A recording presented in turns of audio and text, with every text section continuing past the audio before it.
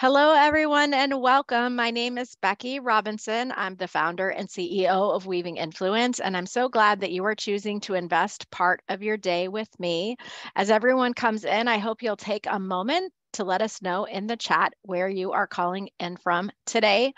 I am in my office in Lambertville, Michigan, and it's an absolutely gorgeous day outside, although I have spent most of my day, besides a short walk with my dog this morning, in the office. So I am looking forward to some more time outside. So I noticed that a few more people have come in since I mentioned this, but we do want the chat to be a very engaging place today where we can uh, learn and grow with you. So please take a moment to find the chat, use the drop down menu to select everyone and let us know where you are calling in from today. And we are going to get started with our content in just a few moments. Um, but we're really thrilled that you've chosen to join us for today's webinar. Welcome, Andrea in Colorado Springs. Thank you. Aubrey, where are you today? I am in Toledo, Ohio, not far from you, and I am so excited about the beautiful weather. We've had, I feel like, such a long winter, so I'm ready to get outside for sure. Awesome. Well, I do see a few familiar names and a few new names, but welcome in uh, DC and Atlanta, Oh, the other Becky's here. How awesome is that? Uh, welcome uh, in Tampa, in Jacksonville, in South Africa, an international audience already. So I want to let you know about a few things that we are up to uh, with this webinar today. We are scheduled for an hour. Uh, I'm not sure that the content will take an hour. If you have a lot of questions, we can stay for an hour. Um, but I'm excited to share some new insights and new ideas, even some that that I was considering this morning. So um, let's see what else. We will take some Q&A later in today's event. We do want to engage with you through some polls in a moment. Uh, quick note, Aubrey Pasterek is my esteemed colleague today. Uh, we have been working together for six years, and um, so I'm thrilled that she can support me on the webinar. And I'm going to let her introduce me, and then we're going to dive into today's content. Yeah, thanks, Becky. I was thinking before this, I was like, how long have we worked together? Even though it, was, it just we just passed six years, but I couldn't remember. But I'm so excited to get to introduce you today. So many of you probably already know Becky is the founder and CEO of Weaving Influence. And in our 11 years of business, she has guided us to launch more than 200 books, which is super exciting. She's also the author of Reach, which I have right here. I have my copy. And Reach just turned one this month. So that's super exciting. Um, Becky is an avid runner, and in her free time, she enjoys spending her quality time with her her lovely family. So, Becky, I'm going to hand it back over to you, and I'll be back at the end, possibly for Q and A. Perfect. Thank you so much, Aubrey. All right, so we do want to get to know a little bit about all of you today. And I, I realized that I added a second poll, but I didn't actually add it in Zoom. So I'll just ask the question of you. And if you want to type in the chat, I'm curious about your previous exposure to me and my work. Um, so I'm wondering, have you read my book already? Have you listened to my podcast? have you been on my email list or have you met me personally? Or is the topic of my book Reach brand new to you? So I want to watch the chat, especially if the work is brand new to you. Uh, would you tell me that? And uh, it looks like, thank you. Yeah, uh, I've got a lot of friends on the call, so it's it's it's good to see you. Um, the good news is I'm not going to just do a, a recap of all the content that I shared last year. I have some new things to talk to you about today. So it looks like most of you have some previous exposure to my work and are not new. So that is helpful as we begin the day. Uh, the other thing that I want to do also is to find out um, as it relates to um, reach, which of these topics is most present for you today? I realize that you may want to say these are both important to me, but for today, which of these is most important for you. So in my book, I define reach as expanding audience plus lasting impact. And so today I want to dive in a bit more to both of these topics, but I'm curious which one is most critical. And I'm going to give you just a few more moments to answer the poll. Which of these is most present for you today? And this is pretty interesting and may uh, guide where I spend my time. So thank you to those of you who have taken the time to answer the poll. I will show you these results. It looks like for two thirds of you, what is most present for you today is expanding your audience. And about a third of you say that what is important for you today is creating lasting impact. And I just want to own that it's kind of an impossible question because we want both, right? We both want to reach more people and we want to have a lasting impact. So asking you to choose is probably a little bit problematic, but I think at times we might experience kind of this this push and pull where you know creating lasting impact is hard um, and t- it takes a long time um, and we may at first like stay focused on the topic of expanding audience so i will share a few slides today uh, my friend Becky said she's listening and working while she, while we're on this webinar. So if you can't see the slides, no worries. In the event that the slides would be valuable to you, we can share them later as a PDF. We are also recording right now, and so we can uh, get the recording to you as well in case you want to revisit any of these concepts. So what I'm going to do right now is I'm going to go ahead and share my screen and we're going to take a look at a couple of things as we dive into today's topic. Um, the overall title today, how to uh, achieve the greatest possible influence for your message, book, or cause. All right, so I want to revisit for a moment the definition of reach as outlined in my book. Reach is expanding audience plus lasting impact. And this is a little bit differently than, you know, some people may define reach. Some people may define reach purely by numbers of, you know, how many people is this post going to reach when I put it on Instagram or LinkedIn. And and while those metrics can be helpful in terms of grounding ourselves with the size of the audience that's possible for us, I feel like it falls a bit short because um, really what matters more is not, you know, in any given moment, how much content, uh, how many people is my content able to reach or how many impressions does my content have, but honestly, like how much impact can the content have, who will be changed by it or challenged by it or take action on it. Um, so above all today, I want to be asking and answering two questions. The first question is, how does an audience grow? What does it take to grow an audience online for your work? And the second question I want to answer is, where does lasting impact come from? And so as we get started, for those of you who have read the book, I want to remind us all of the four commitments that I talk about in the book. Uh, the four commitments are value, consistency, generosity, and longevity. And so, what I want to do today that I didn't do in the book, and I haven't really done in any content since the book is to talk about how these four commitments specifically map to those two parts of the reach uh, definition. So, how do the four commitments map to growing an audience? How do the four commitments map to having lasting impacts?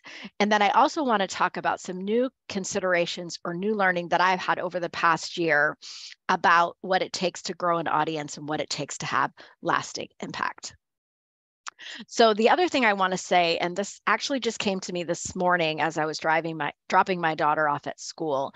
Um, you may have heard me say before if you've heard me talk about the book that the original book didn't have that reach definition as as it was in the final book. The first draft of the book also didn't call these the four commitments.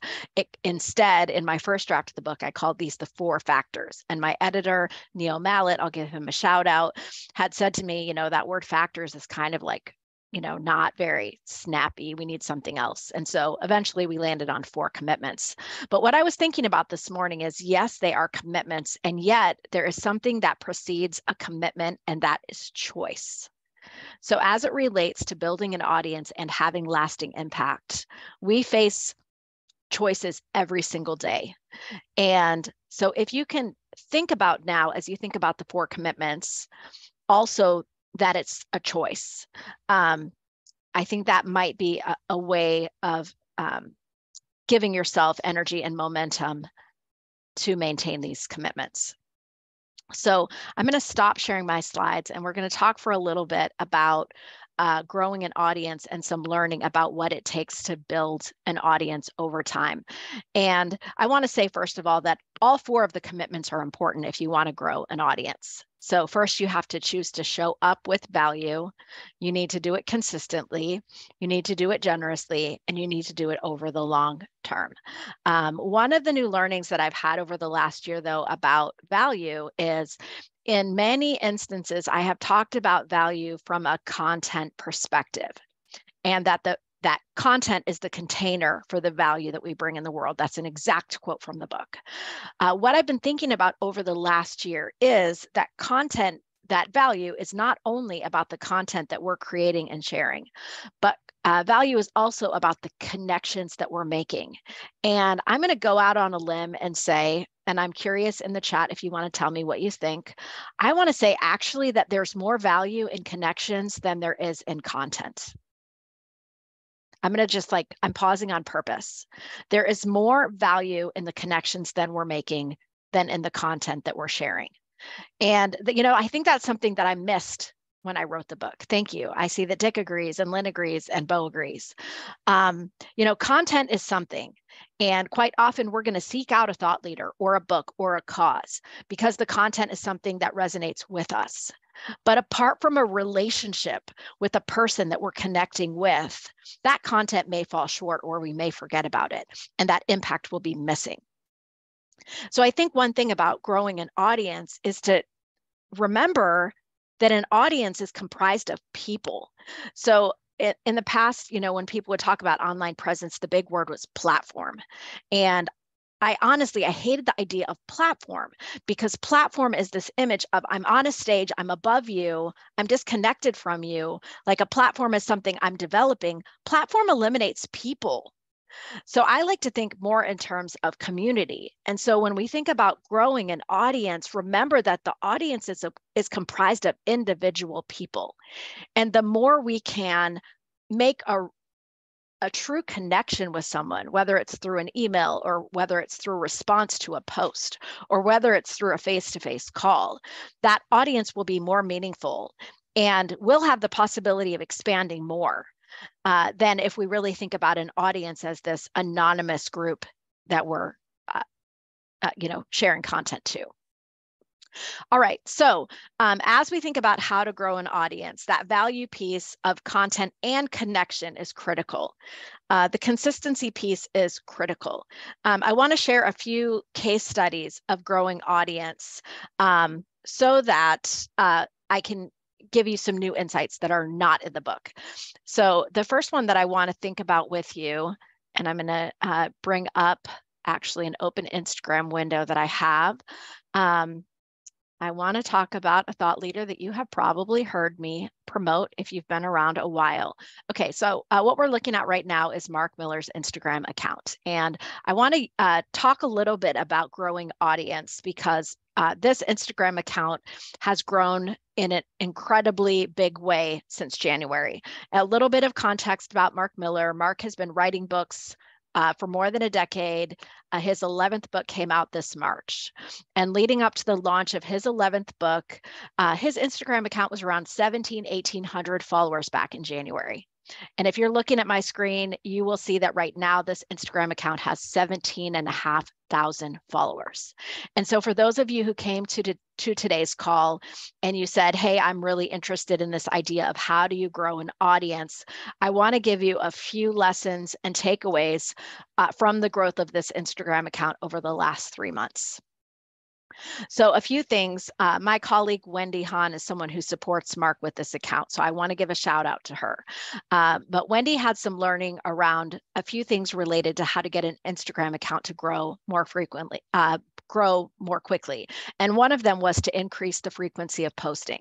So earlier this year, Wendy went from uh, a, a lower cadence of posting to posting, you know, with and for Mark uh, every single day.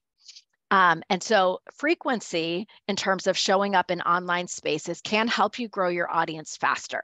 So, if you want to grow your audience faster, consider can I increase the frequency with which I'm posting, which will expand my content to more people and help me grow my account faster. So, now I'm not going to say that frequency is completely responsible for the growth of 10x of this Instagram account in three months. So, there are a few other tactics that we tried. Um, and one of them was engagement. And And so every single time Wendy would be working on Mark's account, she would also make sure that she was liking and commenting on other people's posts when new posts came out from Mark so that that engagement uh, and presence is there. So if you have any questions along the way, by the way, about the case studies that I'm sharing, uh, uh, feel free to put those in the chat. Um, and sorry, I'm trying to like manage the chat and the and the case study at the same time. So the lesson here uh, from Mark is this lesson of frequency. Um, I would also say along with the lesson of frequency, sometimes a way to grow an audience faster is to pour money uh, at the issue. So, um, what we have seen is that when people invest in paid social, quite often that can help grow their audience faster. And in the case of this Instagram account, we did have a paid campaign along with Mark's new book coming out that we think contributed to the growth of this account. Okay, so frequency and paid social are two ways to grow an audience faster. I want to take a look at another case study um, and I have this open here. So this is our client, Carice Anderson. And this is a, a video of hers that went out last month that uh, went viral in its own way. And so I want to reflect on why that might be. And there are two factors uh, to help grow audience with a post that might turn viral that I want to take away from this post. So uh, I can give this link to you later in the chat if you would like to see it, but there are a couple of things that stand out to me about this particular type of content. Um, one is um, that it is very authentic. So this is a video clip from a live speech. Um, and if you take the time to watch this video clip, she is sharing something that is very vulnerable and personal. And so, one of the ways that we can grow an audience is to show up as our unique and authentic selves, which draws people to us. Um, the other thing is that this is very, very relevant um, because uh, Carice is talking about topics that her audience, uh, which happens to consist of people who look like her uh, are going to find this to be relevant. So, the more relevant our content is to our audience, the more likely we are to have our content shared by others and reach more people along the way. Okay, so those are two case studies about growing an audience. I want to show you one more, um, and I'm actually going to use an example from my own Instagram. I mean, LinkedIn. Sorry about that, from my own LinkedIn. Um, if any of you are connected to me on LinkedIn, you might have seen this post because Instagram showed this post to people for three weeks. Uh, this is probably the, the LinkedIn post. I think I am mixing up my channels. This is the LinkedIn post that I have posted that has reached the most people across the time I've been on LinkedIn, which is you know over a decade. Uh, what you'll see here is that this post had 57,000 impressions. You know, it has nearly 200 comments. 25 people chose to repost this content, and over 900 people reacted to the content. And so there's a couple of lessons from this as well. Um, I, I think that one of the things about this particular content piece that I did is that it is authentic as well. This is not a post photo. It's not a professional photo. It's a one take photo. Um, also, the uh, the caption is something that I wrote myself that was very heartfelt, that was very authentic and vulnerable. Um, and again, I think it's relevant because this post speaks to a challenge that many people who are on LinkedIn face, which is, you know, how do you have your life and your work fit together? And so, if you want to grow an audience, one of the ways that you can grow an audience is to have other people amplify your work. And in this case, you know, 25 people chose to share my content with others, which helps me to reach a wider audience. So, as you think about what kind of content can I create and share that will expand awareness of my work in the world, the more relevant and authentic your work is, the more likely others are to amplify your work, which will help expand the audience. Okay, so um, a few ideas about ways that you can implement some of these concepts um, that uh, that I'm saying about growing an audience. And thank you for that comment, uh, Susie. Um, about that authentic heartfelt post it is it's like actually like real in the moment i took my phone i took one photo and then i thought huh what if i put this out on linkedin um, so uh, if you want to try some of these tactics of you know value through connection and content and consistency if you want to use an increased frequency to grow your audience or to figure out how to make your content more relevant and authentic so that you can grow a bigger audience there's two things that i want to encourage you to do. Um, one is to experiment. So you know, if I look at any given LinkedIn post that I've done over the last few years, many of them have very little reach as it relates to impressions. If I shared my screen, I could show you that many of my posts only have about 100 impressions. And so, one of the things to do is to experiment with what's the kind of content that I can create that will reach my audience in the most meaningful way. What I've seen uh, from my content and from clients' content is those personal photos make a big difference. Uh, so, to shout out Aubrey again, again, I did a post about her at her work anniversary that did include a photo of the two of us.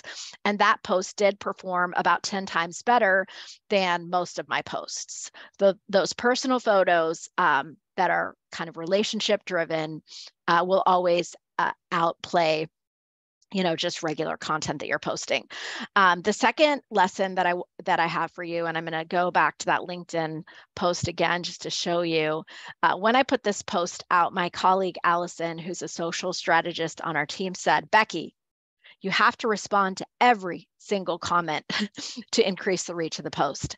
Now, uh, when she said that to me, I kind of groaned because that is time consuming.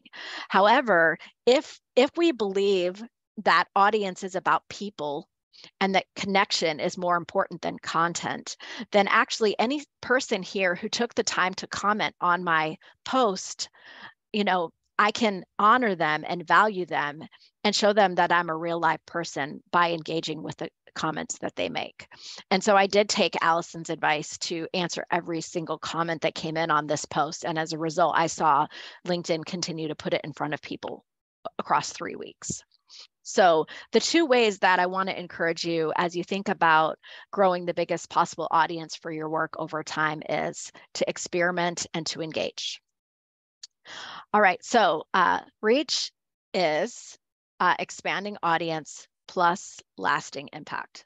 So let's talk uh, for a few minutes about lasting impact. Um, so um, expanding audience is about uh, growing the number of people that you're content reaches. And lasting impact is often about focusing your energy and attention on a smaller uh, audience because it's those people who are closest to us that we will have the most impact with over time. So I do have a, a few fun slides on the topic of impact. If you just give me a minute, I need to get back to them and we can take a look at those together. All right, so I want to tell you a story about lasting impact. And the story about lasting impact uh, you know i could tell you any any number of stories but because this uh, photo of the baby resonated with everyone so much i wanted to sh- kind of share the backstory uh, on this baby that i'm holding in my office. It is not my baby. If you if you did not read the post or you're not aware this is my colleague uh, beth porter. It's her baby. Um, and so I want to tell a story about Beth Porter. So I first met Beth and her mother um, back in about like 2010 when I moved to Michigan. And uh, my kids attended the same school as Beth's mother's kids, Beth uh, obviously being my friend's daughter. Uh, so this photo is a photo from 2012, and Beth was 13 years old. Is that right? She's sitting across the room from me. So Beth Beth was 13 years old. Uh, my kids were various ages. I can't do the math right now. These are uh, my three children uh, with their friends in this photo. We were at a water park for the day. So back around 2012, Beth, who is now my executive assistant, began to spend time with my family and babysit my kids. So fast forward to 2022. Uh, here's Beth in this photo. This is the 10th anniversary of my company when we were gathered for a special celebration dinner. Um, now, I, I, I'm not going to tell you that I was a, a part of Beth's life over that entire period. You know, I was aware of what she was up to. Um, I was aware when she had her first baby. I was aware that she was looking for more flexible work that would help her to be the mom that she wanted to be, but I wasn't really deeply involved in her life. Um, and then last summer, when we decided that we wanted to hire uh, a new executive assistant and have someone in the office to work with me, I ended up hiring Beth. A, a month or two later, I found out she was pregnant with her second baby. And after the baby baby was born, we made a decision as an organization to be flexible and allow for an experiment for Beth to bring her baby to work. And so I, I want to kind of share this story because I think lasting impact is in a way kind of contradictory to the thoughts that we have about bigger audience. You know lasting impact is something that requires that fourth commitment of longevity of choosing to stay in online spaces and to stay in relationships long enough to become memorable and to make a meaningful difference. And again back to what i said earlier about how choice precedes commitment i realized you know, when I hired Beth a year ago, that it was a very specific and intentional choice. And so I think anyone who wants to make lasting impact in the world does so from a place of choosing. Um, you know, even Aubrey on the call, like choosing to continue to stay in relationship, continuing to work together will increase the chances that we'll have a lasting impact on someone's life. So I do have a couple of more pictures because I just love thinking about this. So the here are three more stories about lasting impact. So this photo in the center is my friend Jamie Mahurin Smith. And I met Jamie as a high school sophomore. And again, like the story of Beth, you know, we didn't stay in relationship all the time since I was a high school sophomore back in 1987. Um, but a few years ago, I think in about 2018, uh, we resumed our friendship and now we text each other every day. Now, it, like, can you imagine in any world more impact than that moment to moment, every single day connection. So closeness is what creates impact. Um, a couple of other stories. The photo on the left is my friend Phil Gerbyshak. Uh, Phil is a great online uh, guy. He's he has built his audience and shares a lot of valuable content with the world. We're not close, but I've known Phil in online spaces since 2009, and he has chosen again and again and again to support my work. So I wanted to share this photo. It's from 2011 uh, when we had the chance uh, to go out for breakfast with our partners and each other um, and meet in person and spend time together. So longevity is critical for lasting impact. Uh, again, another lasting impact story on the right. I don't know if anyone recognizes the woman in the photo with me on the right. Her name is Jane Anderson. And Jane is someone who has chosen to make a commitment to me to be a champion uh, by participating in many of my company's book launches, by sending me personal notes of encouragement, over the years. Um, and then this photo is from a month or so ago when she came in person to an event that I was at. Um, again, a year ago when my book came out, she came in person all the way, several hours away to be at my party. So, um, a few things that I want to leave you with about lasting impact. So, impact comes through memorable, meaningful relationships over time. And so impact is something that starts with a choice and ends with a commitment. Uh, we're going to have the biggest impact with p- the people that we choose to interact with most frequently and closely. All right, so uh, those are just a few things that I wanted to share with you today about creating reach, which is ongoing. Uh, wait, grow it, Bill. I can't even say my own definition reach equals uh, growing audience plus lasting impact. Uh, thank you for all the encouraging notes in the in the chat. Um, and like i know that the the photos that i showed you about the the lasting impact stories there are kind of two sides to those right? So there are the relationships that start online that you choose to take offline and then there's the relationships uh, that start offline that you choose to bring online. And so, of the three photos I showed you, my relationship with Phil Gerbyshak, who's been a good friend and supporter to me over the years, started online. My relationship with Jane Anderson started online. Obviously, in 1987, there was no online. Uh, so, my relationship with my friend Jamie started offline. Um, but as we think about uh, growing an audience and lasting impact, you really need both. Um, and I, I, don't know if you guys heard me reference the other Becky. There's a woman named Becky who's on the webinar with us today who I met through an online community called 540 Writers. And Becky, as a volunteer and nonprofit, uh, is doing amazing work in bringing um, writers together for encouragement and support. And so that was another relationship that began online that I've chosen to take offline. So uh, in terms of action items, I gave you two action items about growing impact. I mean, growing audience. One was experiment and engage. As it relates to lasting impact, the action item that I want to encourage you with, and this is a concept that comes straight from my book, is to take that extra step of taking your online relationships offline and you know calling someone or having a zoom call face to face with them all right, so I want to let you know about a couple of possible action steps from today's call, and then we will open for questions if there are any, and potentially bring Aubrey back for some Q and A. Um, or if you want to use the hand raise function, I'm also willing to bring you over the webinar wall to ask me a question face to face. And that way we can demonstrate that whole value of taking online relationships offline. And I just have a quick question, Aubrey. I'm still looking for the slide that would have the new program on it, and I do not see it. Uh, do you know if we have that? Um, I will look for it. Uh, I think that we don't. So I'm going to just share my screen and take people to a web page. So my team and I have started something brand new, partly to celebrate the one year anniversary of my book and partly to bring people together in community. We are launching as of this month, Reach More Readers Mastermind Groups, which will consist of virtual coaching sessions with me and other members of my team. And what you're going to notice is that there are tr three tracks. Uh, track one is for anyone who is launching a book and it's going to come out more than six months from now.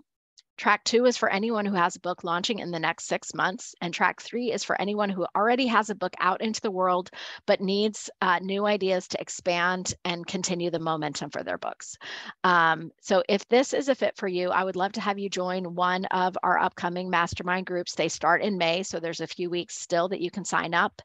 Um, and if these aren't a fit, I would request or appreciate if you would be willing to share one of our groups with others. Um, and so that is the main uh, thing that we wanted to announce today. Um, of course, of course, you know, my book's been out for a year. Uh, you can see that it's behind me. Um, you know, maybe it's time to reread the book or uh, buy a book for a friend or buy a book for yourself if you don't have one already. And I think Aubrey will put in the chat the links to the mastermind group and uh, the link to buy my book. Okay, and now it's time for Q&A. I don't know, Aubrey, would you like to come back? And if we see any questions in the chat or we see a hand raised, we can um, go ahead and take people's questions. Yeah, I haven't seen any come through yet, but I would love if people could drop some questions in the chat, or like Becky said, if you guys want to come on this side with us, we'd love to have you. Yeah, I was kind of thinking Jane being like such a supportive fan, I kind of thought she might be here when I shouted her out so we're going to have to make sure that Jane and Phil and Jamie know that we talked about them on today's webinar. Um, For sure. Aw, thank you, the other Becky. I appreciate that support. Uh, how much of the growth of my company is in the book? Jim, that's a really interesting question. And I haven't read the book in about a year, more than a year, actually. The last time I read my book was when I read aloud and narrated the book for the audiobook. I think I only share a few glimpses of the growth of my company in the book. You know, I talk about the origins of my company. I talk a little bit about my transition of being a stay at home mom and then beginning the company. But I don't know that I talk about the growth of my company in the book. Um, I'd be happy to share a little bit of that now if, if it would be helpful.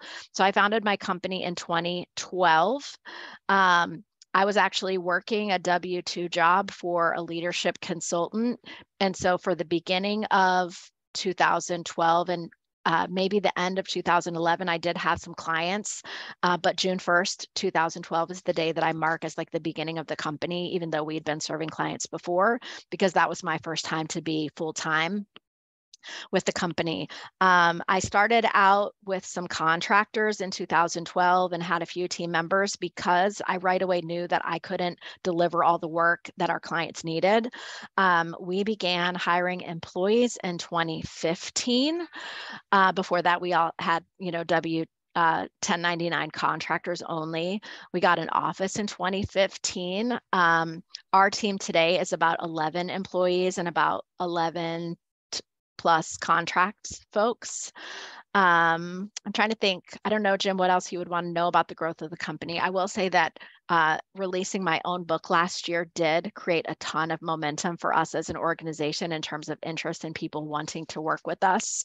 We are having one of our biggest years ever, um, especially in rebounding from the pandemic. Um, yeah, so I don't know, Jim, if that kind of answers your question. It's a little bit of the history. Um, yeah, thank you, Jim, for watching us grow, being a part of the launch teams. I would say that the growth has not been without growing pains. Um, I just had a meeting this morning, like a quarterly review meeting with my leadership team of, hey, what went well in Q1? What do we need to adapt for Q2 and beyond? And you know, as an as a person, I am always like stretched by leading this company. And I never actually, Jim, I don't know if you're aware of this, but I never set out to grow a company. I didn't have a business plan. I didn't take a business class in college. I didn't take a marketing class in college. Um, you know, none of the tools that we use in our company now existed when I was a college student back in the early 90s and the late 80s. I started college in the fall of 1989. You know, none of this worked. So none of it existed. Uh, so I'm a very unlikely entrepreneur, but it's been uh, like an amazing journey. Becky, what's interesting to me, I feel like you didn't share this part, but your like vision for the company in terms of like we're talking about impact and how you're impacting people's lives. I think part of your company like that is you doing that. And so, you know, creating those opportunities for others. And I think that's a cool story too about like what you know how you started your company why and what you were hoping to provide for others yes thank you that's that's true so for those of you who don't know um, I, you probably do know, one of the reasons why we scheduled this webinar is that next week, the 19th of April, is the one year date since I released the book. And there's a few fun things that we're doing. You know, launching the mastermind groups is one of them, but we also like have this cool opportunity next week where my book will be in New York City at the Fifth Avenue Barnes and Noble store. So I don't know if we have anybody from New York City on the call today, but if if you're watching and you're in New York, please go take a picture of my book in the window of the Barnes and Noble store in New York City. That's just one of the fun opportunities for celebrating the anniversary of the book's release. All right, so we're looking for brave people who want to be on camera with us, um, if you would like. Uh, a couple of other things. Some of you may may be a part of our ongoing webinars. I want to make sure that you know that we have two exciting webinar events coming up in the next uh, little bit. Um, Susan Fowler, who's a long-term client of our company, has her new book, why motivating people doesn't work and what does. And we have a webinar with her coming up with Garry Ridge, who was the former CEO of WD 40 as her special guest. And we also have a very exciting webinar coming up with Bob Tiede um, and his co-author on a new book called Leading with Questions. And so Aubrey is going to put in the chat a link to those upcoming webinar events that we're really anticipating. Um, and those are coming up in the next few weeks. We would love to have you join us.